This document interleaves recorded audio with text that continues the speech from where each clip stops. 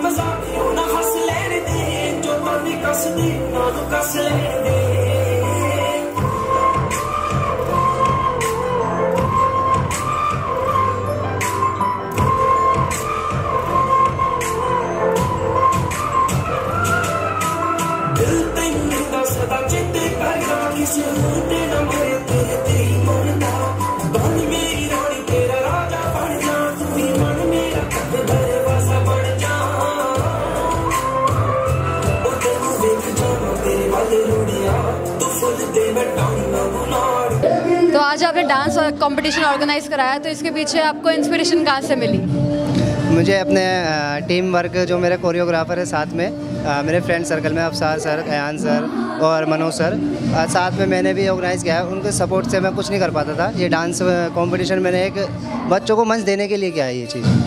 मैं चाहता हूँ छोटे छोटे बच्चे एक छोटे लेवल पे पहुँच के बड़े लेवल पे पहुँचे। जजेस कौन कौन है इस कंपटीशन में? जजेस हमारे ऐशमोन ने एक डांस प्लस टू में जो आए थे उनका वर्ल्ड में फोर्टीन नंबर पे टटिंग किंग टटिंग किंग जो करते हैं यूट्यूब फैम बहुत अच्छे हैं। और एक उनके साथ के फ्रेंड है एक मेडी नोटियाल वो भी यूट्यूब फैम है और एक मेरा बिग ब्रदर भाई रोशन खान वो काफ़ी रियलिटी शोज़ में आ चुके हैं। और एक है प्रदीप शर्मा और भी सेलिब्रिटी आए हैं कुमकुम जैसे गौरव शर्मा और भी हैं। वैसे बहुत सारे इवेंट में जाता हूँ, लेकिन आज कुछ ज़्यादा अलग हो रहा है, क्योंकि आरडीएस ने बहुत सारे दूर दूर के बच्चों को बुलाया है और आज यहाँ बच्चे डांसिंग वायरस जैसा इसका नाम है डांसिंग वायरस एक कीड़ा सभी के अंदर होता है, लेकिन इसका कोई एंटी वायरस नहीं है। तो आज डांसिंग वायरस में बहुत सारे अच्छे परफॉर्मेंस हमें मिल रहे हैं, क्योंकि इस बार हमने बहुत सारे दिल्ली एनसीआर के बच्चों को बुलाया है, जो आज संडे भी है, इसलिए बहुत ज़्यादा तादाद में बच्चे आए यहाँ पे आए हैं। तो रिस्पांस कैसा रहा यहाँ पे बच्चों का? बच्चे बिल्कुल कमाल का डांस कर रहे हैं। अभी आपने देखा बहुत छोटा सा बच्चा था, वो भी डांस कर रहा था। मतलब टैलेंट की कोई उम्र नहीं होती है, छोटे हो या बड़े हो, अगर आपकी प्रतिभा है तो बहुत दूर तक जा सकते हैं। आज आप यहाँ पे एज ए जज आए हैं तो आपको कैसा लग रहा है यहाँ मुझे यहाँ पे बहुत अच्छा लगा। यहाँ पर बच्चे छोटे छोटे बच्चे हैं परफॉर्म कर रहे हैं बहुत अच्छा लगा मुझे। यहाँ पर मुझे ये इन्होंने सौभाग्य दिया मैं जज बनाया यहाँ पर। और जजमेंट में आपको क्या क्या डिफिकल्टीज फेस करनी पड़ेगी? क्योंकि यहाँ पे बच्चे इतना अच्छा डांस कर रहे हैं। सारे बच्चे सारे बच्चे इतना अच्छा अच्छा डांस कर रहे हैं। एक एक छोटे छोटे बच्चे इतने बड़े बड़े डांस कर रहे हैं कि आप टीवी में जो देखते हो ना डांस वो समझ लो वैसे ही वैसे सेम टू सेम वैसे करते हैं। यहाँ पर मतलब तीसरी बार आ रहा हूँ चीफ गेस्ट के रूप में ही। और मैं चाहता हूँ बच्चों को मतलब उत्साहित करने के लिए मैं यहाँ पे बार बार आऊँ। और मैं चाहता हूँ जो हमारे जितने भी ग्रुप के मेंबर हैं अच्छे से अच्छे शो परफॉर्म करें। और मैं बहुत हैप्पी हूँ आज। आई एम सो हैप्पी इस तरह के जो प्रोग्राम हुए हैं ये बहुत अच्छे होते हैं और समाजी संस्थाएँ इस तरह के जो प्रोग्राम कर रहे हैं बहुत अच्छे हैं। क्योंकि मैं देखता हूँ मैं भी और बहुत से प्रोग्रामों में जाता हूँ तो मैं देखता हूँ बहुत सी प्रतिभाएँ हमारे बीच ऐसी हैं जिन्हें ऐसा इस टाइप का मंच नहीं मिलता।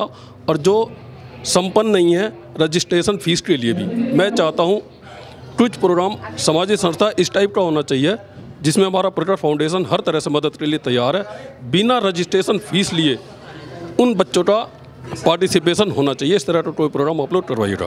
गाज़ियाबाद में टैलेंट बहुत है और बस निकालने की ज़रूरत है कि कोई आगे आए और उन बच्चों को निकाले।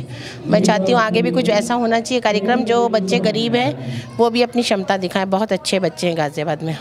मैंने शुरुआत वंदना से की थी तो इट वॉज़ नाइस एक बहुत अच्छा प्लेटफॉर्म हमें मिल रहा है। तो आई एम हैप्पी एक किस सॉन्ग पे परफॉर्म करने वाले आई विल परफॉर्म ऑन अंग लगा दे basically my performance is semi classical तो इसके बाद भी मतलब आगे पीछे भी शोज़ करते रहते हो? यस yes, मैं करती रहती हूँ। मैं मास्टर सरोज खान से अवॉर्डेड हूँ। और मतलब मुझे डांस में अपना करियर बनाना है प्रोफेशन डांस को ही रखना है मुझे तो। छोटे नन्हे नन्हे कलाकार जब पार्टिसिपेट कर रहे हैं और हौसला को बुलंद कर रहे हैं ये बहुत अच्छा मंच मुझे मुझे बहुत अच्छा मंच लगा। तो कई जगहों पर डांस को अच्छा नहीं माना जाता तो उस पर आप कुछ कहना चाहेंगे? डांसिंग एक समय था कि लोग अच्छा नहीं मानते थे, लेकिन मैं कहूँ, भारतीय कलाकार को एक उचित मंच देने के लिए ये माध्यम भी बहुत अच्छा लगा। और डांसिंग को कोई गलत नहीं है, ये आपके शरीर के लिए और साहित्य और कला हमेशा अनुनासर संबंध रहा है, हमेशा से अग्रसर रहा है। अच्छा लगा और बहुत अच्छी कला है और जो ये आरडीएस काम कर रहा है, बहुत शानदार काम कर रहा है और बच्चों ने बेहतरीन अपनी कला दिखाई है और मैं, मेरी दुआएँ हैं उनके साथ कि वो आगे बढ़ें।